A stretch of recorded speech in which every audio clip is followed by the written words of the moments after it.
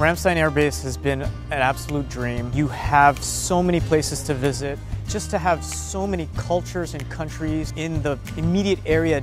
France for sure, a big highlight for me. Just to be at the Eiffel Tower, to see the Louvre, opportunities that just can't be passed up.